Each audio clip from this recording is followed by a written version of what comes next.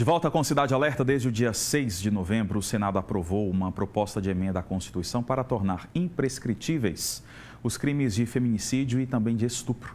Os deputados federais analisar, vão analisar o texto e a gente se pergunta, mas o que é que isso significa? É exatamente isso que a gente vai discutir agora, sobre esse caso que a gente mostrou agora há pouco, né, desta prisão do crime ocorrido no interior do estado. Eu recebo aqui no estúdio do Cidade Alerta a Valdilene Martins, ela que é advogada criminalista. Seja bem-vinda mais uma vez.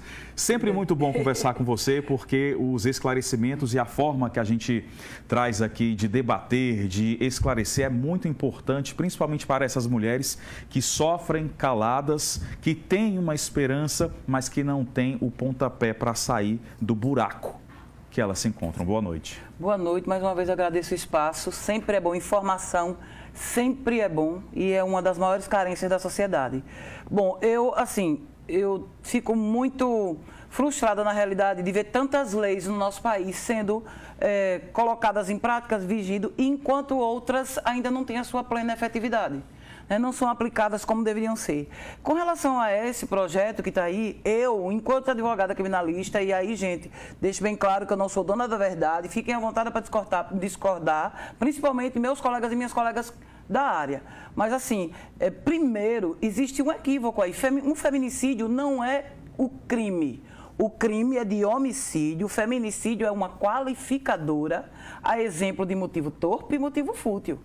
Então, assim, é, como você vai tornar uma qualificadora imprescritível? Então falta um. Tem um mal entendido aí. É para tornar imprescritível, então seria o homicídio, porque o homicídio é que é o tipo penal que está lá no Código Penal, no artigo 121. Entendeu? Então a questão do estupro também. O estupro é um crime, é um tipo penal, certo, imprescritível. Mas como a gente daria efetividade a essa lei? Como uma pessoa faria para fazer essa comprovação sem um corpo de delito futuramente? Porque assim, o, o, crime de estupro, quando uma criança sofre estupro, ela tem 20 anos após completar 18 anos para denunciar. Mas a estrutura de estupro com criança é, na infância e na adolescência, é, no meu ponto de vista, e eu volto a dizer, né, fiquem muito à vontade para discordar, é, é, é, outra situação, diferente de ser, por exemplo, uma pessoa adulta que sofre um estupro e passa 10 ou 11 anos depois para denunciar, e aí a materialidade do crime, a prova, o acabouço probatório, como é que se iria se fazer?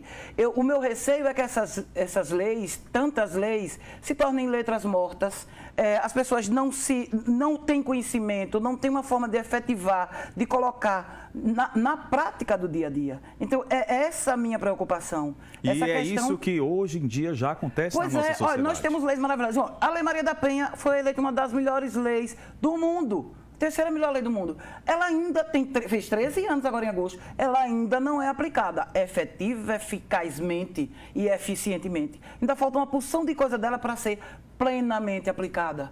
Né? Tivemos recentemente uma lei, esse ano foi cheio de leis. Né? Teve uma lei agora que, não sei se vocês, vocês devem estar sabendo com certeza, de condenar o homem autor da agressão a pagar ao SUS, ressarcir ao SUS as despesas com aquela Sim, mulher. nós demos aqui Sim. no Cidade Alerta Então, aí eu fico pensando, quem daria efetividade a isso? Porque, por exemplo, eu, enquanto advogada, eu posso já na minha petição, não tive a oportunidade de fazer, mas se eu tiver qualquer caso, farei, já posso fazer nos meus pedidos ao juízo que o seja oficiado ao SUS para saber quanto custou o acompanhamento daquela mulher. Analogicamente, eu também posso pedir que seja oficiado ao plano de saúde e eu posso pedir também que seja ressarcida ela se ela fez algum acompanhamento particular. Se vai ser concedido ou não, não sei, porque depois da sentença dada, que pronto, vamos dizer que o juízo diga, ok, né, que se, é, deu a sentença de acordo com o pedido, atenda o pedido.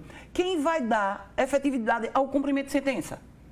Quem vai dar o, o cumprimento de sentença que foi dada lá? Então, assim, a gente tem que pensar essas coisas. Os legisladores, na ânsia de atender o clamor popular, eles esquecem desses detalhes que eu acho que deveria ter uma preocupação maior. Eu penso, eu acredito que a preocupação maior seria de como efetivar de forma plena e efetiva aquilo ali. Então, assim, eu precisaria ver muito mais detalhe, conversar com alguém sobre isso, porque se é, se é para ser imprescritível, que seja o homicídio, que o homicídio é que é o tipo penal.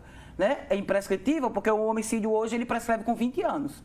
Com 20 anos, a pessoa, se ficou foragida, se não foi encontrada, tem 20 anos, ela está livre da pena. História, né? é, acabou a história. Já, já já está eh, livre de, de, ser punido. Né? Eu, assim, eu evito falar termos técnicos, porque quem está assistindo a gente não tem obrigação de conhecer termos jurídicos.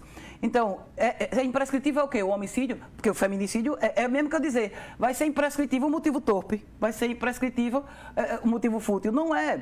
As pessoas têm que entender que o feminicídio é uma qualificadora. A gente precisa buscar muita coisa ainda com relação ao feminicídio. Por exemplo, uma mulher que apanha, que sofre sempre com aquele marido e que desenvolve um coágulo na cabeça, que tem depois um AVC e morre, é feminicídio? Então, tudo isso tem Você que tá ser analisado. São casos são, e mais casos, né, Valdilei? Mais casos, que então... precisa de esclarecimento, que precisa de acompanhamento, é, que é precisa é principalmente encher, da questão da lei, prática lei, lei, da, da, lei. Né? Prática, da, não, não adianta encher o país de lei, como você já coloquei, de leis, se não ter efetividade. Exatamente. É, é, exatamente essa tecla que a gente bate aqui sempre nos nossos telejornais. Muito obrigado, viu, mais, uma, mais vez, uma vez pela participação. Até a próxima obrigada, também. Obrigada, obrigada.